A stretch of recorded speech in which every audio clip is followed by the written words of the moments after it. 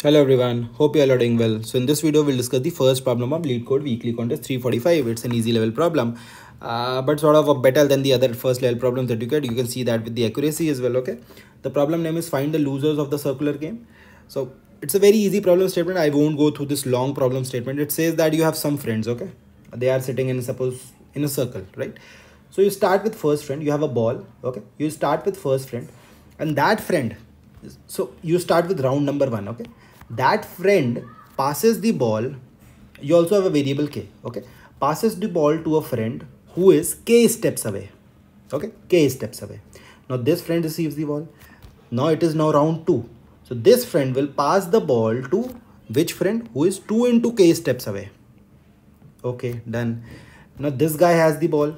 This guy since it is round 3 now will pass the ball to 3 into k this friend.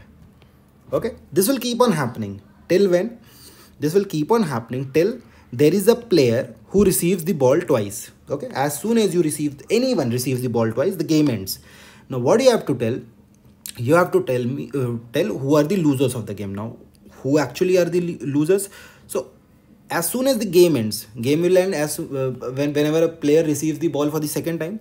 So at that particular point of time who are the players who have not received the ball even once okay players who have not received the ball even once, they are the losers. So you have to return an array in ascending order telling who are the losers of the game. That's a simple problem statement, okay? This is a long problem statement, so I just skipped it and told you what they're asking for, okay? Like for example, in this case, just see, uh, you have a circle. You start with player 1. This is 1. This is 2, 3, 4, 5, okay? You start with 1. This guy has received the ball. This will pass the ball to since this is round number one to k into one steps away. So one two. This will the ball will go to step friend number three. He has also received the ball. Now since this is round number two it will pass to two into k. That means four steps away. So one two three four. This is also done. Great now this will pass 3 into 2, 6 steps away. So 1, 2, 3, 4, 5, 6. Now just see 3 has already seen a ball, has already received the ball. So game ends. Now when the game ends, how many players have not received the ball? It's player number 4 and player number 5. So answer is 4, comma 5. Getting it? This is how you solve this, this example as well. So I would say it's an implementation based problem. All you need to do is try to simulate it, right? Try to simulate it. So whenever, suppose you are here this is your current position. So at your current position what you are doing you are doing current plus round number into k. Right? This is the new position of the ball. Now if this goes beyond n since this is a circle you just take mod n. Simple. You just take mod n.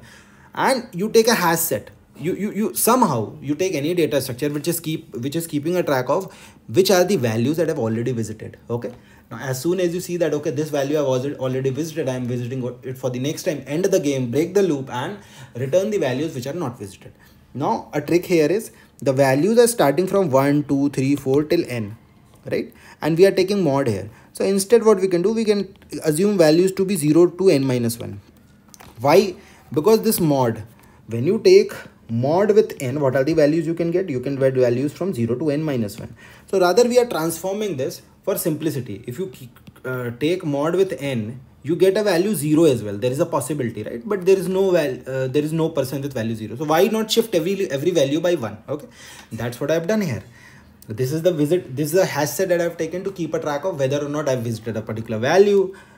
So just see zero guy uh, the, the, the first person is already visited so i index that with i minus 1 so first person is having an index 0 okay current position is 0 or this is round number 1 so current equals to current plus round into k. Current mod n. Okay, so you know the new position. So if visited dot contains current, that means if this the new current has already been visited, you break the loop. Else what you do, you add that into your set and you increment the round. Okay, this will keep on happening. Now what happens?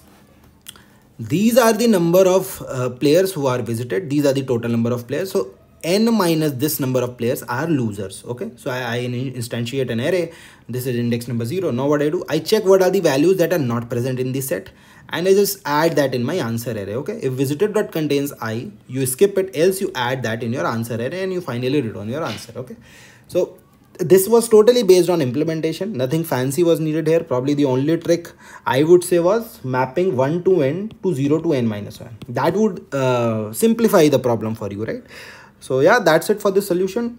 Do support it by giving up a thumbs up. Do subscribe to the channel. In case of any queries let me know in the comment section. I'll revert on each one of them. Thank you. Take care. Bye bye